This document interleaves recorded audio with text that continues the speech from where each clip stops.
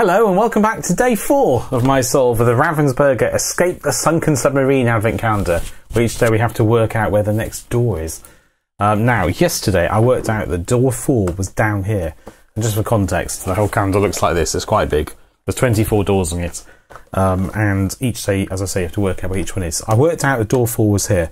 And as always, I've had to open it the day before to confirm it was correct because inside the door there's a number four.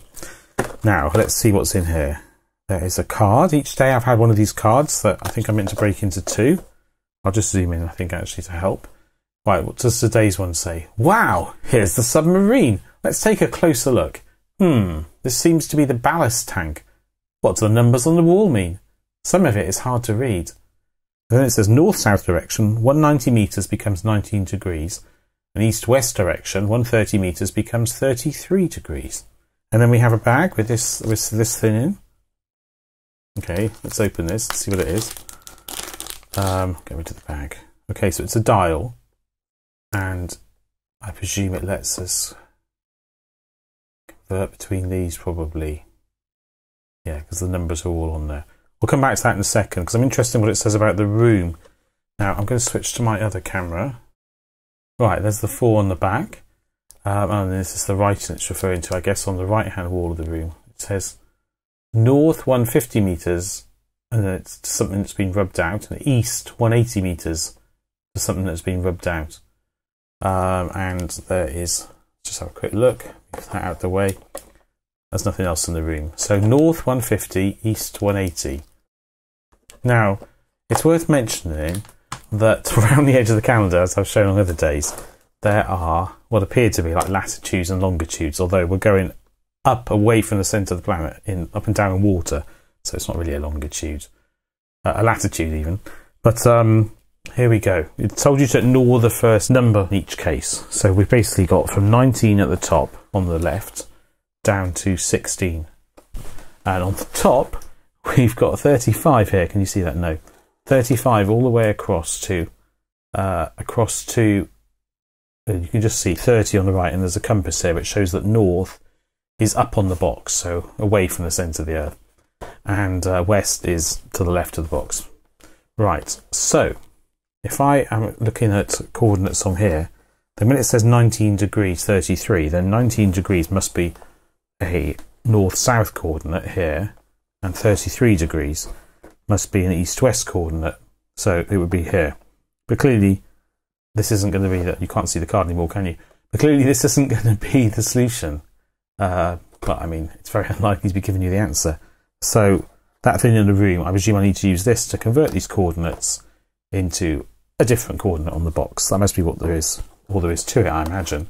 Let's have a look on the back of the cards. Yeah, it's got interesting. It's got writing, a scrawled IW or possibly a scrawled MI. There've been there was a scrawled O yesterday, and the calendar's mentioned on the box that you should keep cards, um, keep things for later days as blank. So I assume I'm collecting bits of a word or something like that, um, which I will assemble on a later day. I don't know. I don't think I need that for today, is my guess. I think we're just converting. Now, on here, it says that, let's have a look again. It says that that's not the right thing, is it? It's this bit I need. It says that 190 is 19 degrees. So let's turn those. Oh, there we go. 190 is 19 degrees. And the other bits don't line up very well. But I think that's just because of the way it's been assembled or printed, because there are five, five, yeah, there are ten on both wheels. So there's no reason why they shouldn't line up. I don't think they're intended to not align. I think it's just the way it's been printed and assembled right. Okay, so if north south 190 is 19 degrees, then north 150 degrees would be 33. Oh, you can't see that. Would be 33. Doesn't make sense. That's that's an east-west coordinate. I think someone's. Well, I'm confused, or the person who designed the puzzle is confused. Okay, so we go 33 degrees east-west, even though it says north. I suppose charitably, it's it's uh, on the northernmost uh, key, northernmost scale, but that's inconsistent. Then we have 180 meters east. Okay, so that corresponds to. Wait, I have to align the dial first. 130 being 33. Um, 130 is 33. So 180 would be 18, which is also obviously not an east-west coordinate. Move this camera, it's blocking me from moving the calendar. It's obviously not an east-west coordinate. 18 is a north-south coordinate. At least it was until this point in this puzzle. So anyway, think it might help if I zoomed out. I'm looking at this row. I must be, mustn't I? There's no other possibilities because they're not inside the range. I'm looking at this row in this column, 1833. I'm looking for this square here. It's not very satisfying, but that must be the case. I don't think there's, there's any other credible explanation. So let's open this door to check that this is my door for day five. And I, also, it's possible I'm missing something. I'm misunderstanding, but I don't think so. Oh my goodness, this per, these perforations. Um, perhaps I'm just a, a weakling. Right, I want to have a five. Yep, there's a five, so I don't even need to pull out a card for tomorrow. So we have solved that. Now I will write on the door that this is day five, so that I can locate it again more easily tomorrow. well, there we go. That's the calendar solver today. I hope you enjoyed that. If you did, then please do come back tomorrow when I will solve that door we just labelled. Or at least I will try to.